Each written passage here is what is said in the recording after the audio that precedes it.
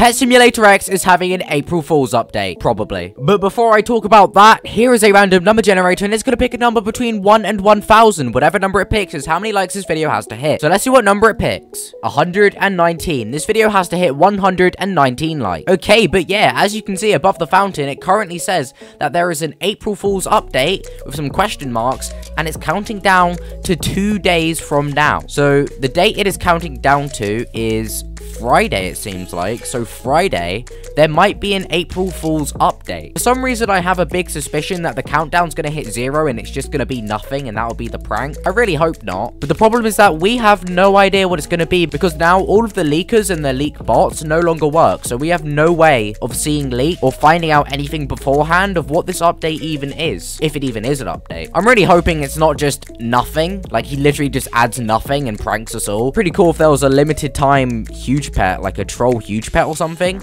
Or maybe it's like how you get the Hubert cat, or bro, I don't know. Anyway, yeah, the April Fool's update coming to Pet Simulator X, maybe. What are your thoughts on what it's gonna be? Comment down below. Make sure to subscribe if you haven't already, and why not watch the videos up on the screen right now. But I'll see you guys in the next video. Goodbye.